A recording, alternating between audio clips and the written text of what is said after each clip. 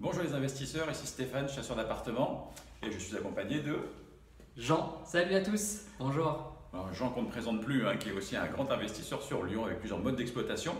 Et aujourd'hui, donc, euh, eh c'est pour Jean un nouveau mode finalement d'exploitation dans ce nouvel appartement euh, Mm. euh, dans lequel euh, tu investis. Jean, est-ce que tu veux nous en dire plus sur le projet actuel? Ouais, c'est ça. Alors, bah, c'est un appartement euh, que tu m'as trouvé, Stéphane. Euh, moi, j'avais pas le temps de m'en occuper, donc j'ai confié, je t'ai confié cette mission. J'ai confié cette mission à Stéphane.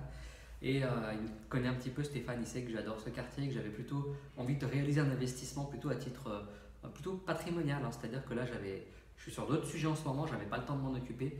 Et j'ai dit à Stéphane, bah, écoute, s'il te plaît, trouve-moi un appart. Euh, tu t'en occupes, je te fais confiance. Tu sais ce que je veux, dans quel quartier, etc. Et, euh, et je ne veux pas faire de location saisonnière sur ce bien-là parce que j'ai vraiment pas envie de m'en occuper. Euh, même si j'ai une équipe, etc., qui tourne aujourd'hui, euh, il y a quand même un- une mise en place, il y a des choses à faire et j'avais vraiment pas envie de le faire. Donc je demande à Stéphane de, de me trouver un appart. On est dans l'appart en ce moment, donc c'est-à-dire que je l'ai acheté. On est en plein travaux, qui, je sais pas, ça a commencé il y a deux semaines à peu près, une semaine ou deux. Voilà, on a commencé les travaux. Et c'est vrai qu'au départ, j'ai plutôt voulu destiner ce bien à la colocation parce que je sais que la colocation, c'est quelque chose, qui fonctionne plutôt bien au niveau de la rentabilité. Alors on est un peu moins euh, rentable qu'une location saisonnière, mais en contrepartie, on a aussi moins d'implications, moins de, moins de choses à faire. Et donc du coup, c'est un bien qui était plutôt destiné à la colocation pour avoir un petit cash flow quand même positif, euh, sans ne rien faire du tout. Et puis, euh, là, c'est vrai qu'on on déjeunait avec Stéphane et, du coup, bah, on est en train d'imaginer peut-être un autre modèle.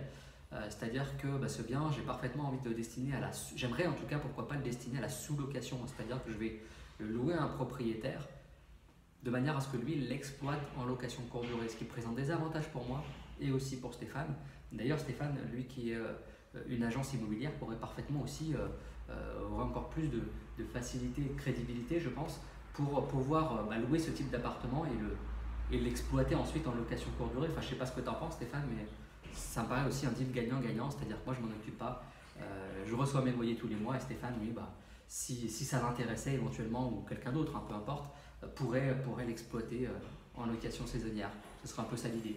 Bah effectivement, alors c'était très euh, inspirant ce déjeuner finalement ensemble puisque euh, bah, moi ça m'a donné des idées. Alors comme tout le monde, hein, quand j'entends sous-location, je me dis est-ce que c'est vraiment légal alors? Bah, Il se trouve que Jean, euh, bah, je, je- je- je t'aime bien personnellement, mais en plus je sais que c'est quelqu'un qui fait tout dans les règles de l'art. Donc euh, voilà, en tant que professionnel avec la carte T, les assurances responsabilité civile, on, on est tenu, je suis tenu en tant qu'agent immobilier de respecter Mm. les lois. Et je sais qu'il y a plusieurs investisseurs et certains ben voilà, vraiment font tout comme il le faut. J'en fais partie de ces investisseurs. Donc l'aspect légal de la sous-location, ben, c'est un sujet qu'il a géré avec un spécialiste. Je pourrais vous en dire plus. Et puis, ça peut vous donner des idées à vous, propriétaires d'appartements, alors à Lyon euh, typiquement, qui souhaitez ne pas entendre parler de l'appartement, toucher vos loyers, et puis justement eh bien, avoir ce confort et euh, ne pas savoir ce qui se passe, mais en tout cas que les choses soient derrière, légales, et puis la Mais d'ailleurs, ça pourrait peut-être être même un service que tu peux proposer à tes clients, c'est-à-dire que tu peux, j'imagine peut-être que tes clients en fait te font confiance parce qu'ils n'ont pas envie de s'occuper de ce, ce genre de choses.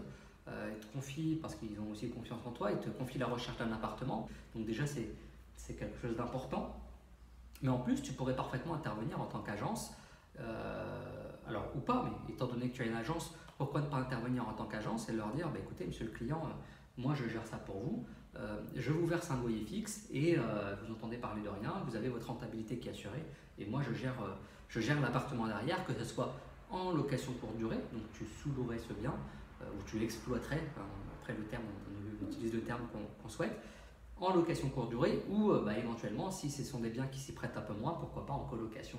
Donc ça, ça permettrait en tout cas à toi de pouvoir euh, bah, développer aussi ton agence d'un point de vue locatif et ça permettrait aussi à l'investisseur de se dire bah, moi j'ai une rentabilité qui est assurée, euh, j'ai rien à faire, c'est un investissement clé en main. Stéphane me recherche l'appartement, il me propose une rentabilité clé en main qui est assurée, tout le monde est gagnant.